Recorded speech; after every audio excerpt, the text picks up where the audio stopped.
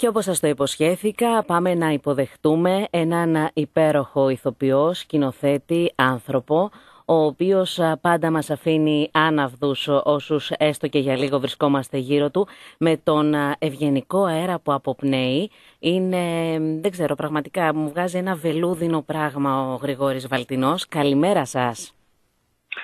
Καλημέρα σας. Εδώ ο Βελούδινος στο τηλέφωνο. Τι μου κάνετε, είστε καλά; Είμαι καλά, είμαι καλά. Έχω αυτό το κουσούρι, τι να κάνω με τη φωνή. Τώρα με τις μάσκες που κυκλοφορούμε όλοι, φοράμε λοιπόν μια μάσκα, φοράμε τα γυαλιά, φοράω και κανένα σκουφάκι άμα κάνει κρύο και λέω τι ωραία, περνάω incognito κι εγώ. και μόλις πω κάπου καλημέρα, αχ τι κάνετε. Τι να δεν κάνω, μπορώ να ε; κρυφτώ, δεν μπορώ να, να- δεν μπορώ να κάνω τίποτα. Αμάντια.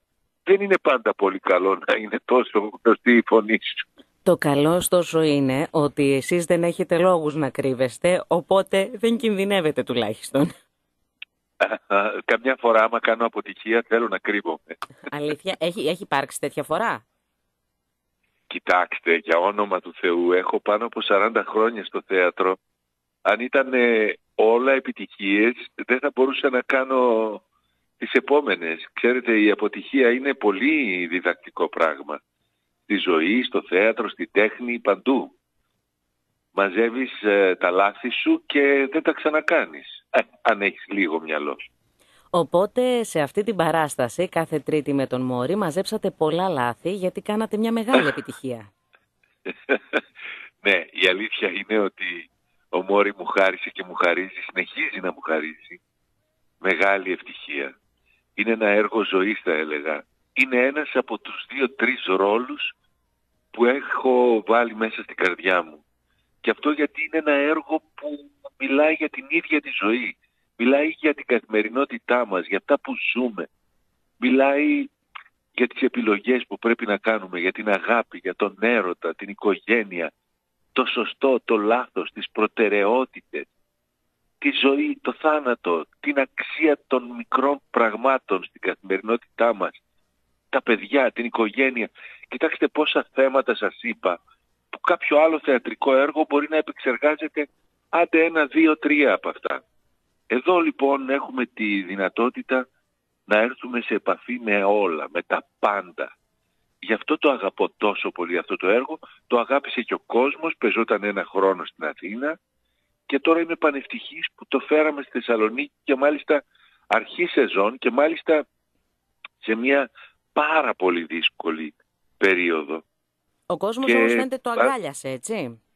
Το αγκάλιασε και μου κάνει τρομερή εντύπωση γιατί ο κόσμος έχει προβλήματα όπως ξέρετε με τις δουλειές του, με το κορονοϊό, με αρρώστιες που μπορεί να έχουν μέσα στα σπίτια, με τις γιορτές που κάνει μια κοιλιά το θέατρο έτσι κι αλλιώς. Αλλά εδώ πέρα, βδομάδα τη βδομάδα, ανεβαίνει, για να σας δώσω να καταλάβετε, ε, χτες πάρθηκε μια απόφαση να πάμε μέχρι τις 2 Ιανουαρίου τις παραστάσεις εδώ στο Αριστοτέλειο γιατί έχουμε πολύ μεγάλη προπόληση, έχουμε προπόληση πολλές μέρες μπροστά και πρέπει να πάρουμε παράταση.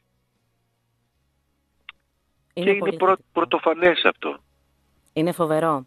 Έχουμε βέβαια και έναν σκηνοθέτη τον οποίο τον αγαπάει και το κοινό. Έχουμε έναν πρωταγωνιστή που τον αγαπάει το κοινό. Έχουμε έναν επίσης πρωταγωνιστή τώρα γιατί όταν παίζουν δύο άτομα ποιος είναι ο πρωταγωνιστής και ποιος όχι. Λίγο ε, χάρεται αυτό. Ο, Γιάννης καθένας- ο Σαρακατσάνης είναι ο Έτσι. πρωταγωνιστής. Ο Γιάννης Σαρακατσάνης είναι επίσης α, πρωταγωνιστής και ο Νικορέστης α, Χανιωτάκης υπογράφει τη σκηνοθεσία. Είναι πολύ αγαπημένα πρόσωπα στα θεατρικά πράγματα.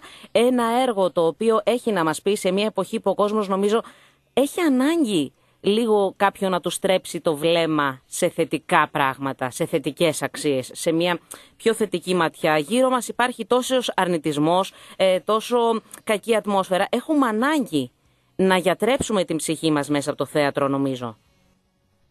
Ακριβώς. Και με αυτό το έργο ο- το θέατρο επιτολεί- επιτελεί το σκοπό του στο έπακρο.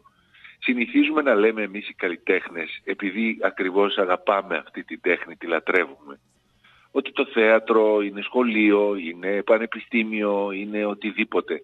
είναι ένας ε, θάλαμος ας πούμε πειραματικός όπου εκ του ασφαλούς μπορείς να δεις πολύ επικίνδυνα πράγματα της ζωής χωρίς να πάθεις τίποτα και να βγεις σοφότερος από μια παράσταση.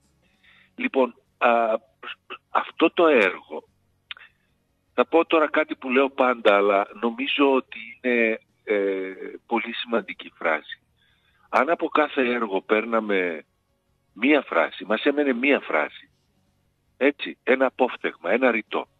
Μας φτάνανε 10 φράσεις για να βγάλουμε μια ζωή. Ε, λοιπόν, ο Μόρι έχει 100, έχει 200 ε, τέτοιες φράσεις, αποφθέγματα για τη ζωή. Υπάρχουν ε, θεατές που το βλέπουν και το ξαναβλέπουν.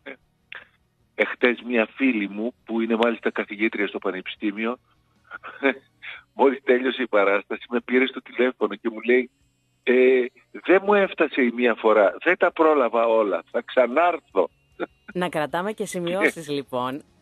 Ναι, με ένα τευτεράκι αν θέλετε, σας παρακαλώ.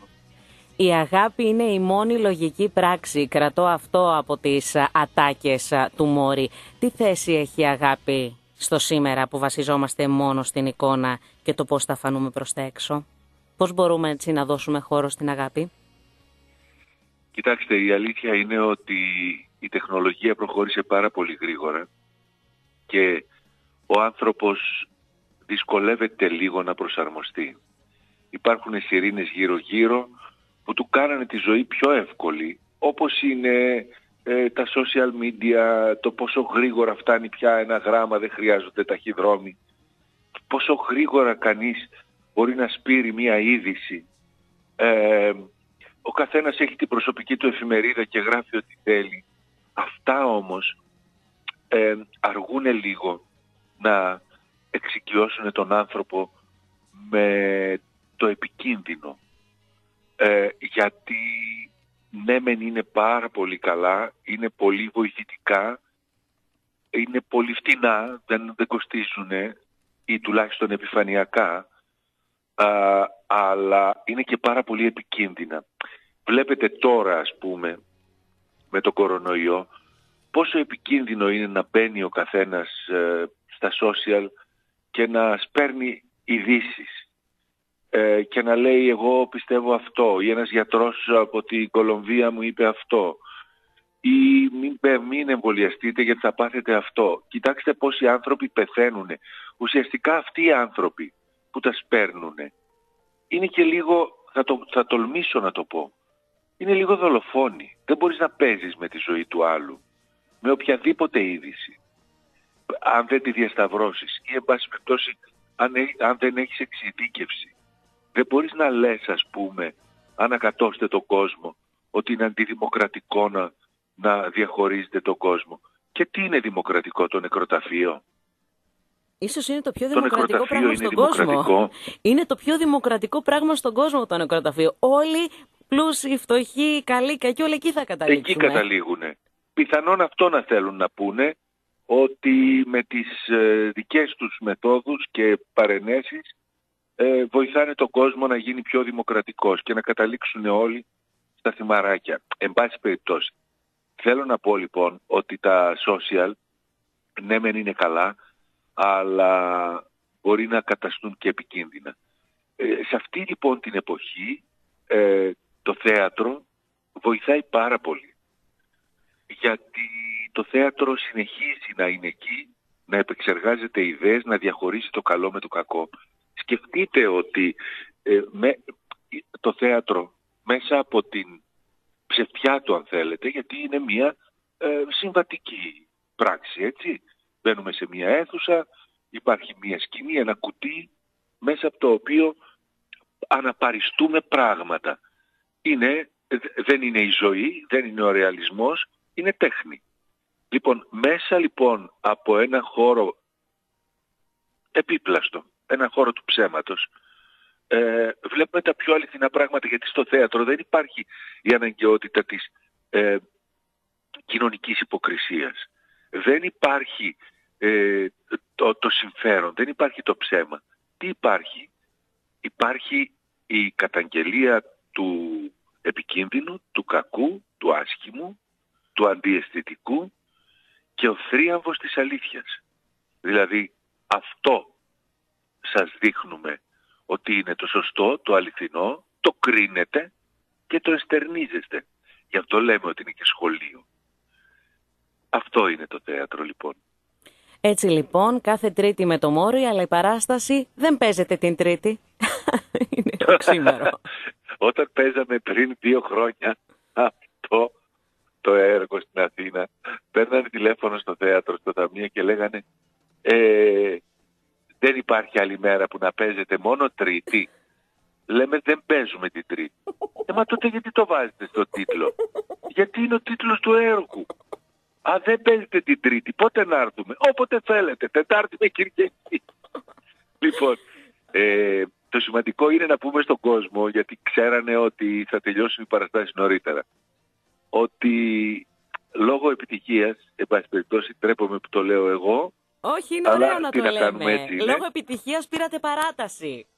Είναι Πήραμε ωραίο, είναι φριχαρμόσυνο. Λοιπόν. Ναι, αλλά τρέπομαι να τα λέω εγώ, τα να λέω εγώ, τα λέω εγώ. Θα τα πω εγώ λοιπόν. λοιπόν. Ναι, και πήραμε παράταση μέχρι τις 2 Ιανουαρίου και όλα πάνε καλά και θέλω να ευχαριστήσω έτσι τους συμπατριώτες μου γιατί και εγώ τη Θεσσαλονίκη τη νιώθω πατρίδα μου, εδώ γεννήθηκα, εδώ έχω τις ρίζες. Ε, θέλω να τους ευχαριστήσω που κάθε φορά με τιμάνε και που έρχονται και που έχουμε αυτή την επαφή. Νιώθω ότι εδώ πέρα είναι οι συγγενείς μου. Και εμείς σας αγαπάμε πολύ και θα σας ακολουθούμε. Ευχαριστώ πάρα πολύ για τη σημερινή μας επικοινωνία.